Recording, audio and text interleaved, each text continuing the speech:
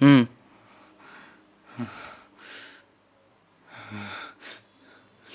அழகு இருக்கிற இடத்துல தான் ஆபத்து அதிகமாக இருக்குன்னு சொல்லுவாங்கள்ல கரெக்டாக தாண்டா இருக்கு. இவனடா அத்தனை கொலை பண்ணா? ஆளப்பாரு வெள்ளையா கொழு கொழுன்னு. அழகா இருக்குடா. தேங்க்யூ தேங்க்யூ அண்ட் கங்க்ராட்ஸ் ரொம்ப நாள் ஆட்டம் கட்டின என்னைய பிடிச்சிட்டல கங்க்ராட்ஸ் பின்ன இந்த ஊர்லேயே நீ தான்டா பெரிய கேஸு. உன்னை பிடிச்சா தானடா எனக்கு ப்ரொமோஷன் கிடைக்கும்.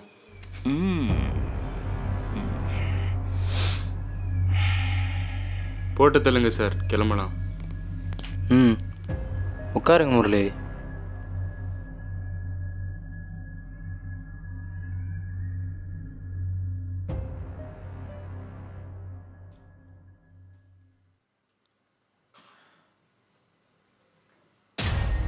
உன்னை என்கவுண்டரில் போகிறதுக்கான ஆர்டர் என்கிட்ட இருக்கு. உன்னை இப்போவே சுட்டு கொன்னாலும் யாரும் என்னை கேள்வி கேட்க போகிறதில்ல but I need a reason ஏன் கொலை பண்ணன்னு சொல்லணும். உண்மையை சொன்னீன்னா கொல்லாமல் ஜட்மெண்ட் வைஸ் உன்னை மூவ் பண்ணுறேன் சொல்லு. ஒரு பேங்க் மேனேஜர் காலேஜ் கரஸ்பாண்ட் ரோட்டில் பேனா வைக்கிற பையன். ஒரு ப்ரைவேட் ஜாப் எம்ப்ளாயி கோவில் திருவிழாவில் பாம் பிளாஸ்ட் அதில் ஒரு இருபத்தஞ்சு பேர். ஏன்? எதுக்கு கொலை பண்ண?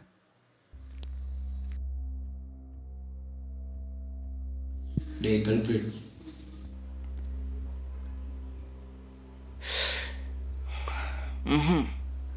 உத்தமன். என் பேர் உத்தமன். நானும் சின்ன குழந்தையா இருக்கும்போது ஒரு பூச்சை தெரியாமல் இருந்துச்சுட்டா கூட குடுகுடுன்னு ஓடி போய் சாமி முன்னாடி நின்று சாமி சாமி தெரியாமல் கொண்டுட்டேன் என்னை மன்னிச்சிரு. அப்படின்னு சொன்னவன் தான். டென்த்து படிக்கிறப்ப எங்கள் அம்மா கொஞ்சம் கொஞ்சமாக சேர்த்து வச்ச காசில் எனக்காக ஆசாசியாக ரெண்டு பவுன் செயின் வாங்கிட்டு வந்தாங்க. ஆனால் அது என் கண்ணில் கூட காட்டல. டென்த்து படிக்க ஃபீஸ் கட்டணுமேனு அதை உடனே எடுத்துகிட்டு போய் அடமானம் வச்சுட்டு வந்து கட்டிட்டாங்க.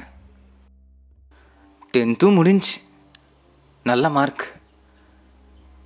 நானூற்றி எழுபது அடுத்தது என்ன பண்ணலான்னு யோசிக்கிறப்ப நான் வேலைக்கு போகிறேன்னு சொன்னேன். அதுக்கு எங்கள் அம்மா இல்லை படி. இல்லைம்மா இன்னும் ரெண்டு வருஷம் படித்தாலும் அதுக்கப்புறமேட்டு காலேஜ் போகணுமா? அது காசு வேணும். அது நம்மக்கிட்ட இல்லை. அதனால் நான் இப்போ இருந்தே வேலைக்கு போகிறேன்னு சொன்னேன்.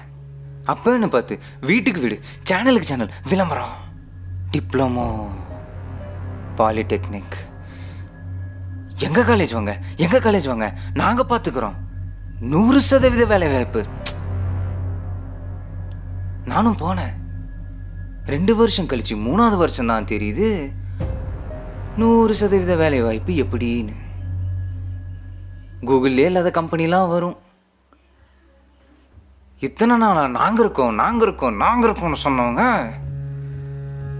எங்களை ஏதோ ஒரு குழிக்குள்ளே தள்ளி விட்டுட்டு அடுத்து வர பசங்க கிட்ட நாங்கள் இருக்கோம் நாங்கள் இருக்கோம் நாங்கள் இருக்கோம்னு ஆள் சேர்த்து போயிடுறாங்க.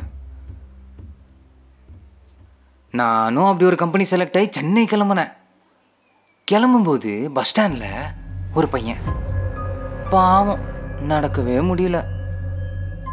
கீழே தேய்ச்சிட்டே வந்து அண்ணா அண்ணா பேனா வாங்கிக்கோங்கண்ணா. அப்படின்னு சொன்னான்.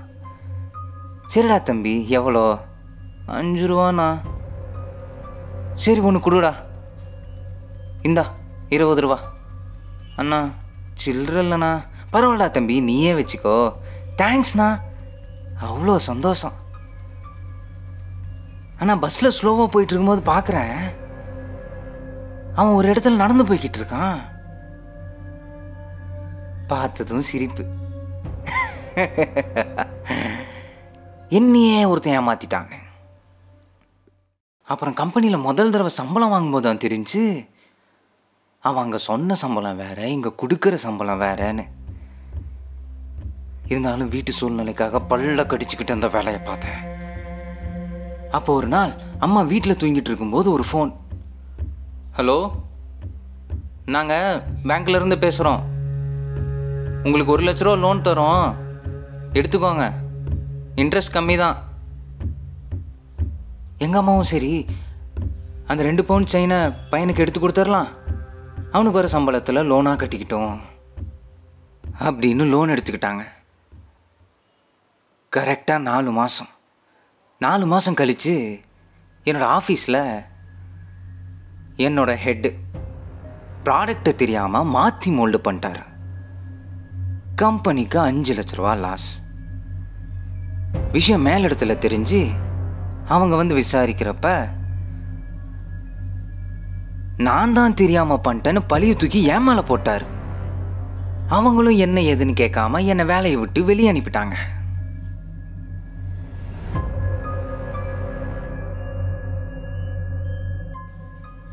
வீட்டில் திரும்ப பஞ்சம். கையில் சுத்தமாக காசு இல்லை. சும்மா தூங்கிட்டு இருந்த எங்கள் அம்மாவை கூப்பிட்டு லோன் எடுத்துக்கோங்க லோன் எடுத்துக்கோங்கன்னு சொன்னவன் ஒழுங்கு மரியாதையாக வந்து லோனை கட்டிடின்னு ஊர் ஜனங்க முன்னாடி அசிங்கப்படுத்திட்டான். அம்மா மனசுடைஞ்சு போயிட்டாங்க. தனிமையிலே இருந்தாங்க. திடீர்னு என்னை கூப்பிட்டு ரெண்டு ரூபா கொடுத்து போய் ஜுரம் மாத்திரம் வாங்கிட்டு வாடான்னு சொன்னாங்க. வாங்கிட்டு வந்து பார்க்குறேன்.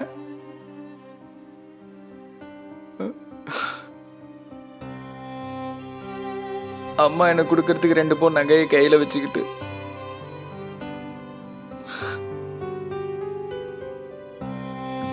தூக்கல தொங்கிட்டு இருந்தாங்க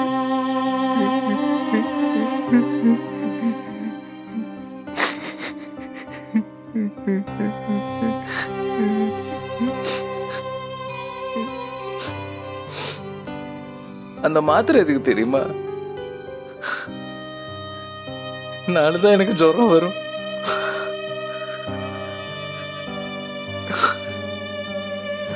அதுக்காக தான்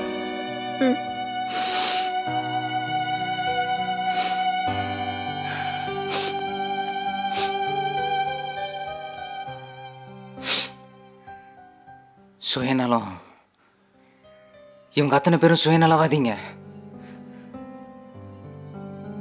அவங்களோட தேவைக்காக நம்மக்கிட்ட சிரிக்கிற மாதிரியும் அழுகிற மாதிரியும் ட்ராமா பண்ணுறவங்க இவங்க இந்த உலகத்தில் இருக்கக்கூடாதுன்னு முடிவு பண்ணேன். அதான். போட்டேன். சின்ன பையனை கூட பார்க்காம போட்டேன். நானா கொடுத்த பதினஞ்சு ரூபாய்க்கு நான் அவனை கொல்லலை.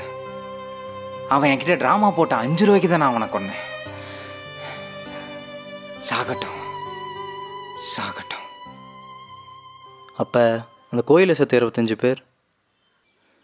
அவனுங்க மட்டும் என்ன? இங்கே கடவுளால் மனுஷனுக்கு எதுவும் பண்ண முடியாதுங்கிற விஷயம் எல்லாருக்கும் புரிஞ்சுதுன்னா ஒருத்தன் சாமி கும்பிட வர மாட்டான். சுயநலவாதீங்க. அதான் வச்சுட்டேன்.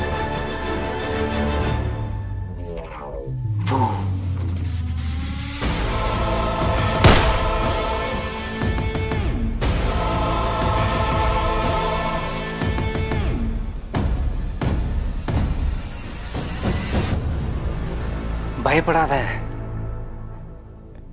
நான் உன்னை கொல்ல மாட்டேன். அவனை ஏன் கொன்னேன் தெரியுமா? என்னை பிடிச்சா ப்ரொமோஷன் கிடைக்குமா? சுயநலவாதி.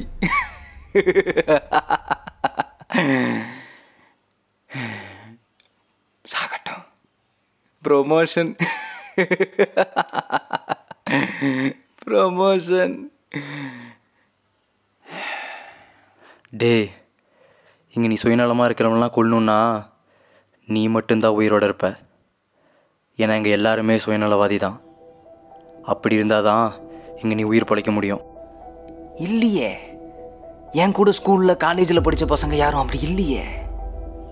ஸ்கூல் லைஃப் காலேஜ் லைஃப் இதெல்லாம் வேறடா. இப்போ போய் பார். நீ காலேஜ் படிக்கும் போதே இவனா சொல்லியிருப்பான். தம்பிங்களா இங்கே நீங்கள் பார்க்குறதெல்லாம் ஒன்றுமே இல்லை. வெளியே வந்து பார்த்தீங்கன்னா உலகம் வேற மாதிரி இருக்கும். அது உங்களுக்கு சொன்னாலும் புரியாது. அதை நீங்கள் வெளியே வந்து பார்த்தீங்கன்னா தான் புரியும் அப்படின்னு. அந்த உலகம் தான்டா இந்த உலகம். சுயநலமான உலகம்.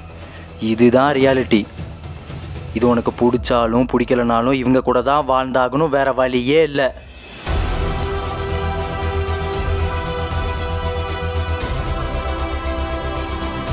நல்லா யோசிச்சுப்பார் இங்கே எல்லாருமே அவனோட சுயநலத்துக்காக தான் விளம்பரம் பண்ணுவான். தட் இஸ் கால்ட் மார்க்கெட்டிங் இங்கே சும்மா தூங்கிட்டு இருக்கவனை எழுப்பி அவனும் காசு தர மாட்டான் அதில் அவனுக்கும் ஒரு லாபம் இருக்கும். அப்போ தான் பண்ணுவான். அப்புறம் இந்த மார்க்கெட்டிங் இல்லாத இடமே இல்லை. ஏன்? குடும்பத்தில் கூட மார்க்கெட்டிங் இருக்குது தான் பெத்த பொண்ணுக்கு நல்லா வரனா மாப்பிள்ளை வருது அப்படின்னா மாப்பிள்ளைய பொண்ணுக்கு பிடிக்கிறனாலுமே அந்த பொண்ணோட அப்பாவும் சொந்தக்காரங்களும் அந்த பொண்ணை பிரெயின் வாஷ் பண்ணுவாங்க பாரு. மார்க்கெட்டிங் இவனுங்களெல்லாம் ஒன்றுமே பண்ண முடியாது. இவங்க கூட தான் வாழ்ந்தாகணும். வேறு வழியே இல்லை. இல்லை.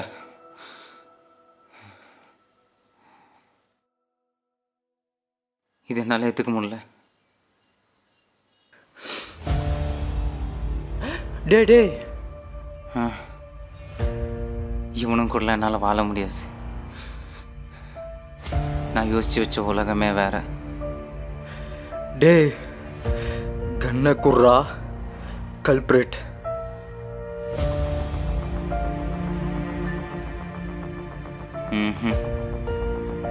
உத்தமன்.